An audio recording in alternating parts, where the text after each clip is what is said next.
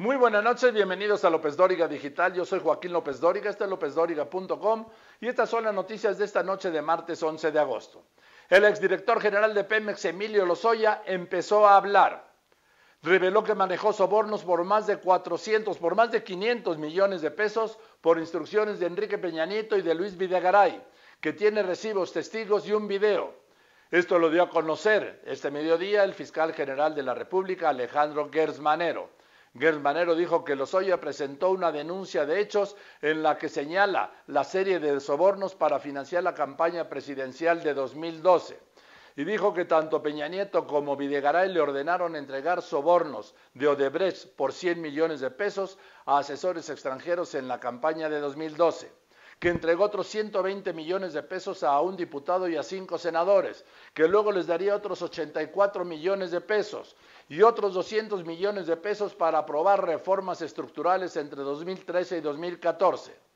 El fiscal Gesmanero aclaró que las declaraciones, las declaraciones de Lozoya tienen que ser comprobadas y que eso será función de la Fiscalía General de la República, pero aseguró que si es necesario llamará a declarar al expresidente y a Luis Videgaray.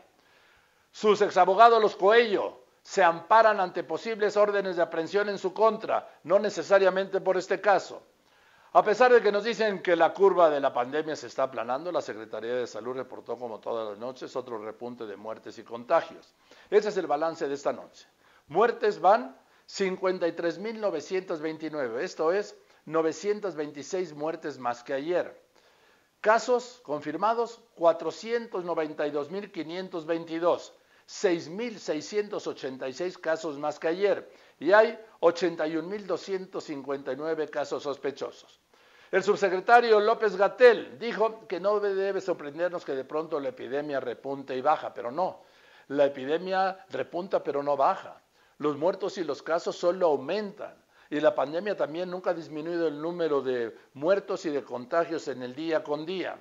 El Banco Interamericano de Desarrollo advirtió que la pandemia duplicará en México el número de pobres, que pasará de 34 a 66 millones, marcadamente por la pérdida de empleos. Sin pista de los asesinos del notario del Estado de México, Luis Miranda Cardoso, padre del diputado federal y exsecretario de Desarrollo Social, diputado del PRI, Luis Miranda, encontrado muerto hoy en su casa de Toluca. Detienen a uno de los 19 funcionarios de la Policía Federal acusados de corrupción. Se trata del que fuera jefe del Departamento de la Coordinación de Administración y Servicios de la Secretaría de Gobernación. Otro de los, esos exfuncionarios prófugos es Jesús Horta. Jesús Horta hasta octubre pasado fue secretario de Seguridad Pública de la Ciudad de México. La jefa de gobierno Claudia Sheinbaum dijo hoy que Horta pasó todos los exámenes de confianza, pero que ella le pidió su renuncia en octubre cuando supo de la investigación para que enfrentara el proceso. De esto nada se dijo entonces. El presidente López Obrador respondió a las acusaciones que le hizo ayer el expresidente Felipe Calderón.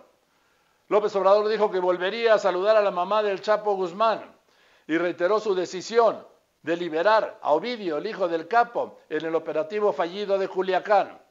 Dijo también que el pleito de Calderón no es con él, que a quien el expresidente debería responderle es al juez de Estados Unidos que acusa a su secretario Genaro García Luna y a sus subalternos a los que él premiaba. Señaló que si el expresidente Calderón no tuvo nada que ver y que si en seis años no se enteró de lo que hacía García Luna, pues no tiene nada de qué preocuparse. Ojo la ironía. La Secretaría de Educación Pública se fajó respondió a los militantes de la coordinadora que protestan en el Zócalo que no hay plazas automáticas para normalistas, que la asignación de plazas debe hacerse conforme a la ley, es decir, mediante concurso transparente, y que eso no está sujeto a negociaciones. Jamás pensó la coordinadora que le fueran a dar esa respuesta. El presidente enviará al Congreso otra iniciativa para extinguir más fideicomisos porque el gobierno federal necesita recursos para el sector salud. Hoy reconoció que hay desabasto de medicinas para niños con cáncer. 15 muertos y 24 heridos al volcar un autobús de pasajeros en la carretera México-Toluca a la altura de la Marquesa. El candidato demócrata a la Casa Blanca, Joe Biden, elige a una mujer, a la afroamericana, la afroamericana Kamala Harris como su compañera de fórmula para las elecciones presidenciales de noviembre. Kamala Harris será candidata a la vicepresidencia tiene una alta aprobación con la comunidad afroamericana y latina. Trump, por su parte, dijo estar sorprendido cuando en realidad está preocupado por esta designación tras lo que llamó el pobre papel de Kamala Harris en las primarias demócratas. No está sorprendido, está preocupado, insisto. En ese momento el dólar interbancario en el mundo se cotiza en 22.42 y aquí en Ventanillas, en México, se vende en 22.70. Yo soy Joaquín López Dóriga, este es lópezdóriga.com y usted está informado. Gracias.